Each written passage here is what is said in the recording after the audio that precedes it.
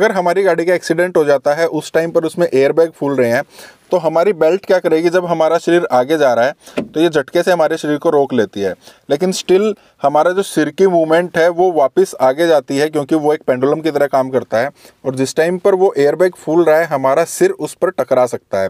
तो उससे बचने के लिए प्री टेंशनर क्या करते हैं, ये बेल्ट जो आगे आई है, इसको वापस फोर्सफुली हमारे शरीर को पीछे ले आती हैं और सीट के साथ सीट में वापस इसको ऐसे पैक कर देती है हमारे शरीर को। लेकिन उस टाइम पर हमारा शरीर स्टिल आगे जाने को होता है वो आगे फोर्स कर रहा है बेल्ट पीछे फोर्स कर रही है। तो हमारे शरीर पर इतना ज़्यादा प्रेशर पड़ जाता है यहाँ से कि हमारे शरीर की हड्डियाँ रिब्स वगैरह टूट सकती हैं। उस टाइम पर लोड लिमिटर का काम आ जाता है। वो लोड सेंस करेगा, बहुत ज़्यादा लोड है तो थोड़ा सा इसको ढीला छोड़ देगा ताकि हमारा शरीर जो है बेल्ट के वजह से चोटल ना हो जाए।